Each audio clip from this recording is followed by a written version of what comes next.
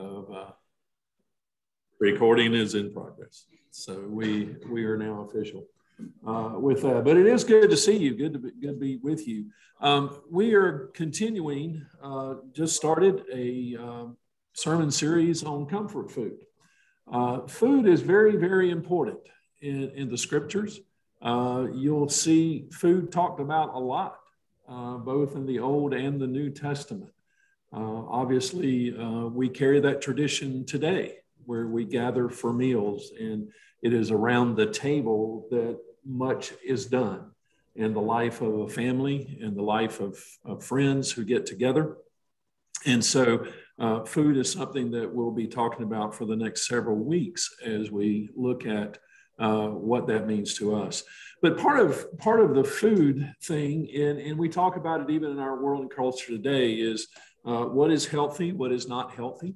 Uh, we look at it from a physical standpoint. We look at it from a spiritual standpoint. What is it that is healthy or unhealthy about the lifestyles that we lead in the way that uh, we take food in and, and, how we use it within our bodies uh, with that? So today we're going to be looking at, in this seventh chapter of the Gospel of Mark, um, criticism uh, that Jesus and his disciples are receiving from uh, legal authorities, uh, religious th- authorities, as they uh, maybe aren't doing things the way that these individuals think. So uh, we're going to start, first of all, with um, the seventh chapter here, beginning with the first through the fifth verses. Then the Pharisees. Now, now, who are the Pharisees? What do they do? Any idea? They criticize others. That's, that's part of their job. Uh, but it does, they do it for a reason. Uh, they are the keepers of the, the messianic law, the, Mos- the Mosaic law. Uh, they are the ones that, that say, here is how we interpret those, and this is how we're supposed to live. So part of the role of the, of the Pharisees then was to keep an eye on, on people and, and keep an eye on the traditions that were there. And, and also some scribes. Now, what's, what's a scribe? They're the teachers.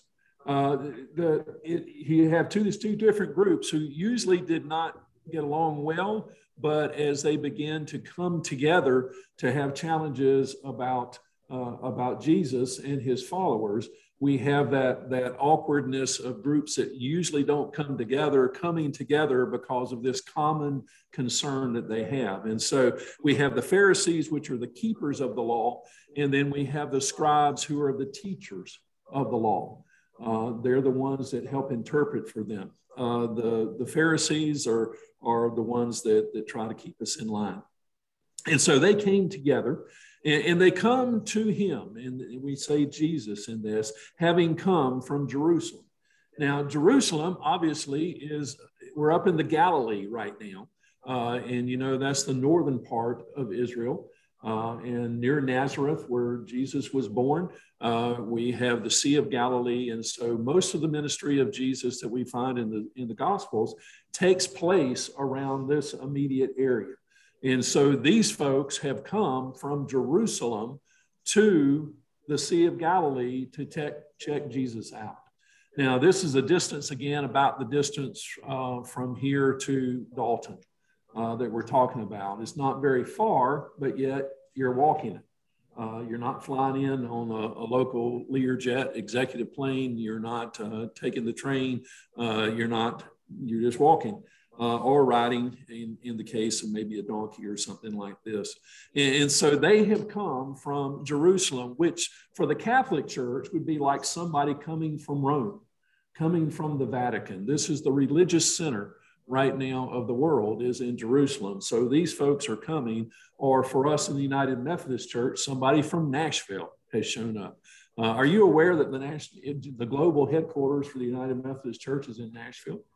Um, the general boards and agencies, there's also some in Evanston, Illinois. There's also some in Washington, D.C. Uh, there's also some here in Atlanta. Uh, the General Board of Global Ministries uh, moved into the building there on Grace United Methodist Church. And so that's where that's headquartered. So, but the primary offices for the United Methodist Church are in Nashville. Or if we're here in North Georgia, uh, it would be like somebody coming from the conference office.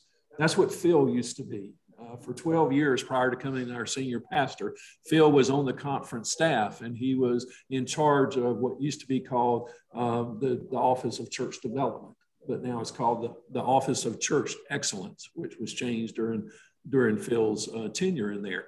And so it would be like somebody is an official who has come um, and, and to be there. And this is not the first time that we have seen this happen in the Gospel of Mark. Um, in earlier in this, in the third chapter of the Gospel of Mark, uh, the 22nd verse, you have Jesus who has gone to his hometown. He has gone to Nazareth. And uh, this is, re- if you remember the story, is when Jesus gets in trouble with the people that are there. They think he's gone nuts. Uh, you know, this is Mary's boy. And, and he's given us all this stuff that this different than what we've been taught. And so the, the Pharisees and the Sadducees or the, uh, the scribes then come in and are there at that time. Uh, and they say he must be uh, related to Beelzebul, uh, which is Baal, uh, which is uh, one of the pagan gods with that. And so because he can drive out demons, they think that he is possessed. Uh, and so we see it earlier. So these guys have come, a different group now has come uh, with that. And so the, the concept of, of evaluating um, persons who representing the church and representing the faith were really is really not unusual. Uh, that's part of the role of the Pharisees was to validate and to vet those who are out there preaching the gospel in whatever form it might be. Uh, and so it was up then. So it was be like somebody from the board of, of ministry in the North Georgia Conference coming here to hear uh, candidates for ministry preach or to hear what's going on about the life of our church and, and vetting basically what we are doing. Um, and so they're looking for false prophets. They're looking for people who are claiming to be a part of the church, but yet they're not doing things the way the church wants it done. And so, for that reason, they are looking for false prophets, they're looking for false messiahs. Uh, they're looking for folks who are claiming to have authority that they may or may not actually possess. And so you have these folks coming to do that. So then, now they, the Pharisees and the scribes, saw some of the disciples eat bread with defiled, this is unwashed hands. Now, this is ritually unwashed uh, and they find fault. You, you, you, stepped outside of what the rules are here, folks. Uh, you stepped outside of what the expectation, the assumption is. And so, for that reason, they find fault with them. And so, for the Pharisees and all of the Jews, do not eat unless they wash their hands in a special way, holding to the tradition of the elders. So, th- there are certain rules and regulations that have come over time uh, is what we're finding in the scriptures. And so the Pharisees and the scribes have certain ways. The Pharisees really are the ones that are doing this. They're the ones that have certain ways things are supposed to be done. And so they have um, created these rituals beyond what's biblical to, to be sanctified and, and to do it in a certain way. And so it's interesting how uh, part of the ritual in this special way was is that you would take water that would be enough to fill an eggshell and a half. An eggshell and a half, and you would use that water to cleanse your hands. And you would use ritual water to do that. And so they would do that, and they would start, first of all, with enough water to, to do that. And they would start at the fingertips, washing their hands, and they would move toward their wrist. And then once they got to that point, they would use their, their fist to clean the palms of their hands. And then they would ritually wash their hands from their wrist back to their fingertips. That was just one of the ways that they were religious, pious. Uh, that's the way that they were ritually learned how to do this. And that was the proper way to wash your hands. And so they have, have done this. And so they, they're trying to hold on to the traditions that have been established uh, for them. And so when they come from the marketplace, they do not eat unless they wash. But the Pharisees and, and the scribes don't actually, um, in this instance, don't actually evaluate Jesus as properly done.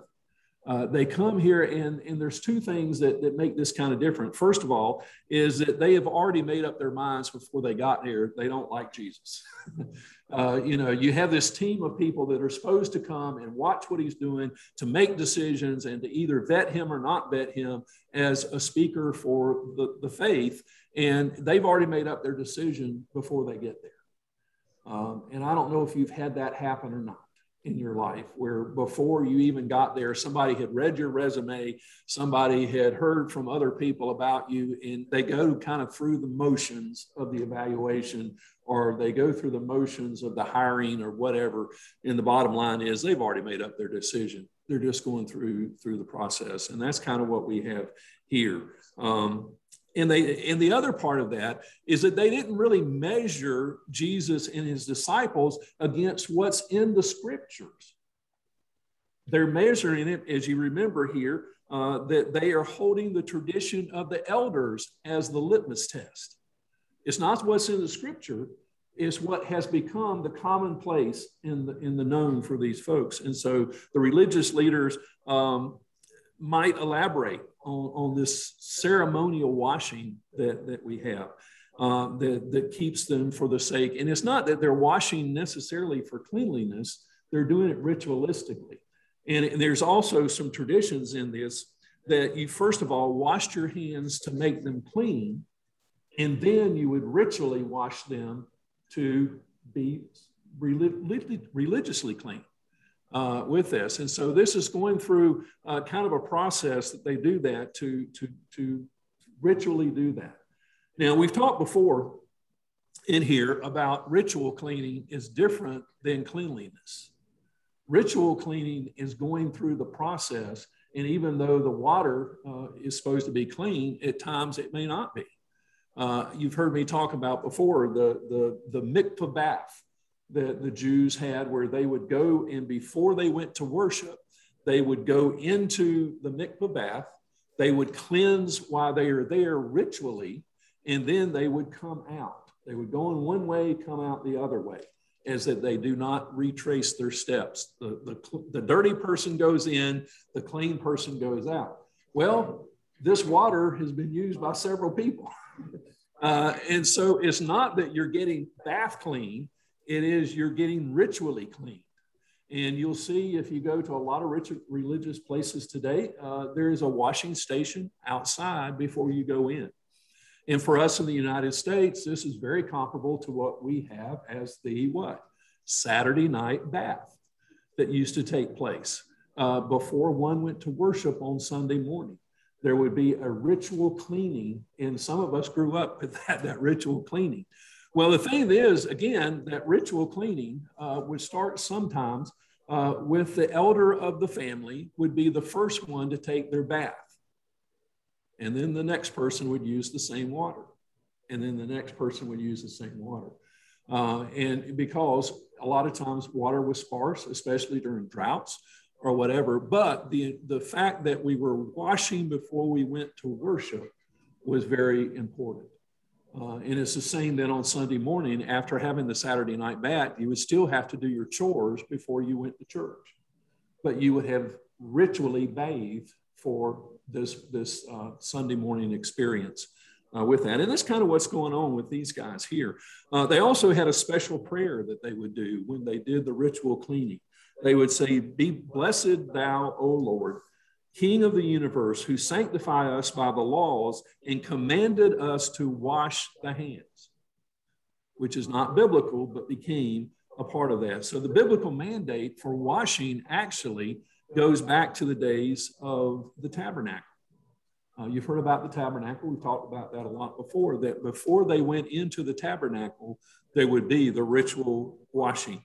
And so this then just got carried over. Well, if it's good enough to do it going to the, the going into the tabernacle, then it also is good enough before we eat. And it even got to the point where there would be ritualistically cleansing between each course of the meal. They would do this cleansing again. uh, but it's all ritualistic, is what, is what Jesus is trying to get at as we go with this. So, uh, and then there, we're moving on then, and there are many other things which they have received and hold, like the washing of cups, pitchers, copper vessels, and couches in some translation, which means beds. Uh, they would ritually wash the things that they used. And the Pharisees and scribes asked him, Why do your disciples not walk according to the tradition of the elders?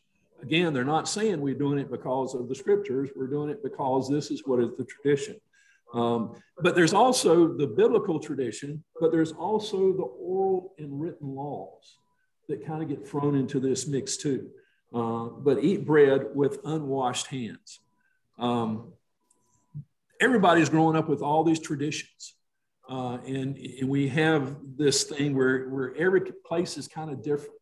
Uh, some people do it this way, some people do it that way. And so the great body of traditions, and the traditions that originally were interpretations of the law, because people would say, well, this is what the law says, but what does that really mean? Do we wear a mask or not our mask? In, in what rooms can we wear our mask and what rooms can't we wear our mask? Uh, you know, we, we are trying to figure out the best way to do things. And that's what's happening here is for our situation and our history and our tradition, what is the best way to be religious? What is the best way to be righteous in this? And so they have the traditions that have come out of that because people have tried to interpret what that means for this location here. You know, what do we do differently at Dunwoody United Methodist Church than Dunwoody Baptist Church does? What are our traditions? What are the things that, that hold us there? So, and what are the circumstances in which we find ourselves? So, the traditions which eh, become uh, the primary thing is that then they have traditions that then have applications to those traditions and it goes on and on and on to where you have interpretations of interpretations of interpretations uh, you know this thing just keeps growing and, and that's what jesus is, is kind of getting to as we go with this. And the Apostle Paul, if you remember, runs into this a lot. Uh, as the Apostle Paul is out in the world and going to all kinds of churches and starting churches, place place, many of his letters have to deal with this same kind of thing. You know, okay, well, what about circumcision? Do we do it or not do it? Do you have to become Jewish before you become a Christian? Uh, if you're a Gentile, is the door open for you or not open for you? Uh, to become a part of the church. How are you going to do this? And so Paul is writing all these letters to different places to try to help people understand from his understanding what it means. And a lot of that, again, is based on where the church is, what the situation is that the folks are doing. Uh, if you remember in the church of Corinth, part of what's going on is that the women are, are creating a problem within the church. Um, they're, they're gossiping about one another, uh, and that's undermining the church. Uh, and so that's part of what's going on here. So, and also the special, the thing that's great about this is some of you coming from Jewish traditions or uh, are familiar with, with Jewish folks in your family that uh, have different dishes for Passover for meals than they do for everyday life uh, because those are sacred, those are, are kosher. Uh, with that, and you only use them for certain times and certain things. And so you have the the the Pharisees here who have special cups, who have special pitchers that were created to be used because ordinary cups and, and ordinary pitchers and ordinary copper vessels and whatnot may not actually be as clean as we think they are. So we have special ones that we set aside that only used for certain things. Uh, and so they may or may not actually be clean, uh, so we have to have other things that would help us be clean. Uh, then we move on to the sixth through the eighth verses here. And he said to them, Isaiah prophesies rightly about you hypocrites. Ever heard that in the church? I don't go to church because of all the hypocrites who are there. Uh, you know, whatever it might be. As it is written, uh, the people, the, this people honors me with their lips, but their hearts are far from me. In vain do they worship me, teaching human precepts as doctrine. Putting again all these rituals, all these things before us uh, that are not really a part of the, the church uh, biblical history, but is something that we have adopted. You abandon the commandment of God to human tradition instead of our uh, godly one.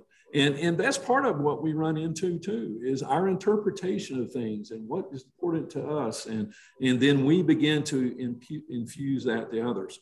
Uh, hypocrites is, is a theater term. Um, and I don't know if you remember that or not, which means uh, the, the definition of a hypocrite is someone who wears a mask. Remember that from your your uh, your theology or your uh, your history classes with that.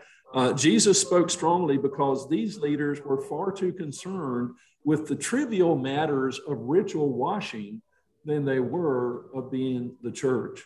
Uh, when they focused on these things, they excluded everyone who didn't keep the traditions.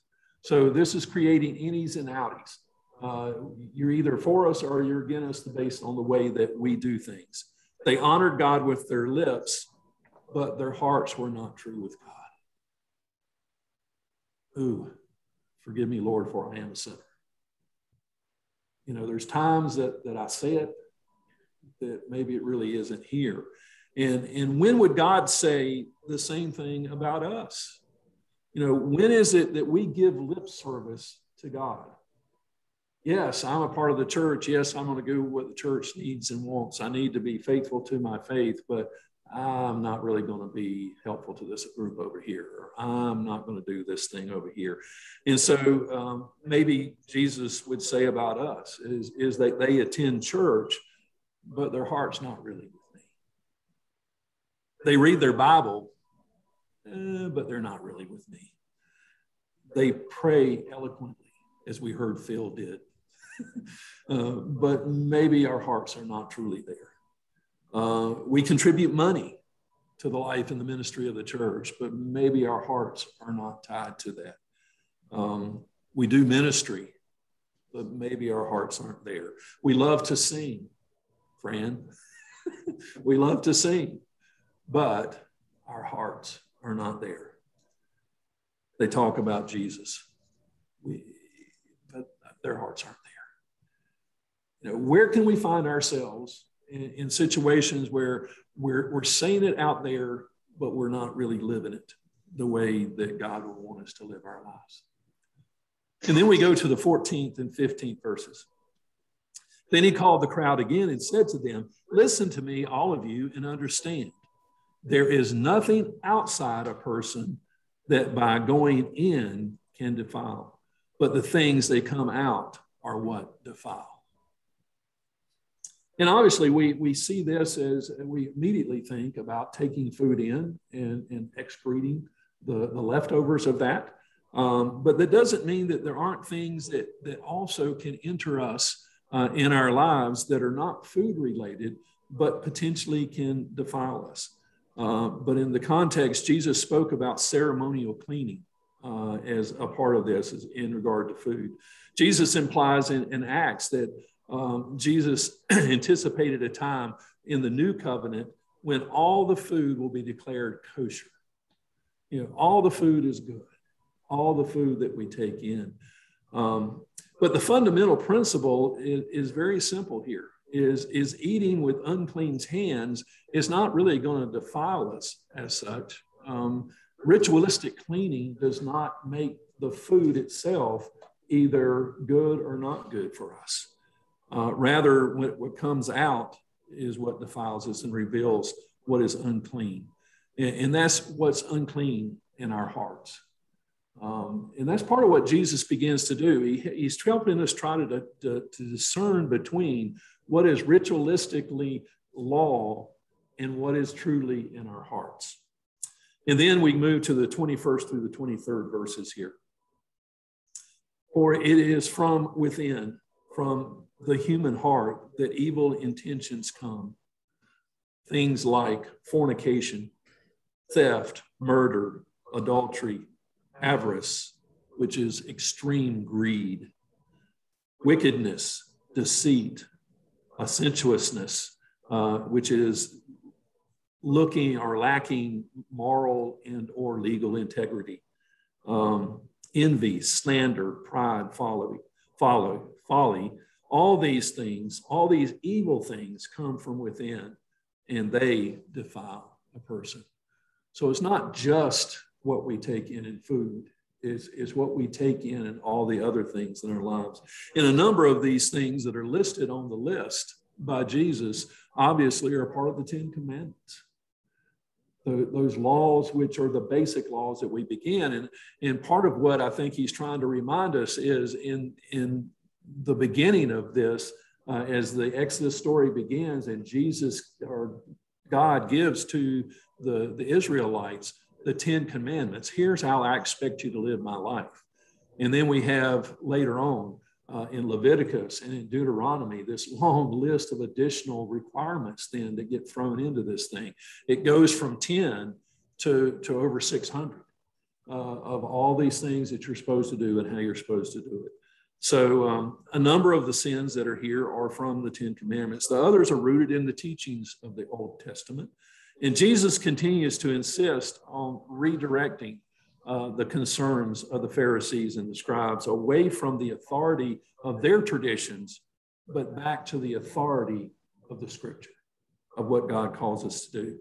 And so, in a time when people are emphasizing piety, honoring God with religious duties, Jesus changes the emphasis then to ethical behavior. Um, some would call it an emphasis of what's in your heart versus what's in your head. Uh, part of what Jesus reforms for us is, is, is just not what you do, it's why you do it and how you do it and what's in your heart that makes the big difference. So um, we are to nurture what is holy that's in our hearts uh, and not the evil things that can come into our hearts. Uh, you know, we have to keep a clean heart as well as a clean body. And what are emphasis, the emphasized ministries here uh, are that they are especially vulnerable. The, the, things that we call or called to be and do in the life of the church are those things, those ministries to the hungry and the thirsty and the lonely and the sick and the imprisoned. Those basic things that God calls us to be a part of and to serve. So remembering uh, food itself is not what is going to defile us. Uh, it is what is we do with that. What is it we do with this food that we take in, both spiritually and physically, and how does it equip our hearts to be faithful to Christ? So we're going to, uh, I guess, stay around our table groups. Uh, the questions should be thrown up upon the screen there. Um, so I'll uh, let Andy let you do the rest that you need to do here, but uh, spend some time uh, with these three questions that you might have that you could find around the table. Discuss among yourselves. Okay, for the folks on Zoom, can you hear me?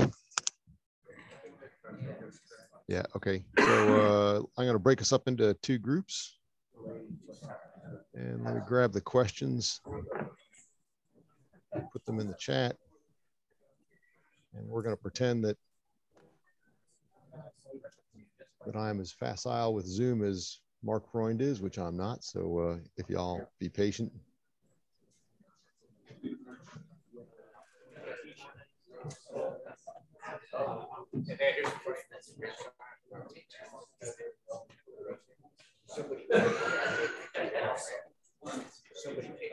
Hey, Justin Wingo, it's good to see you, buddy.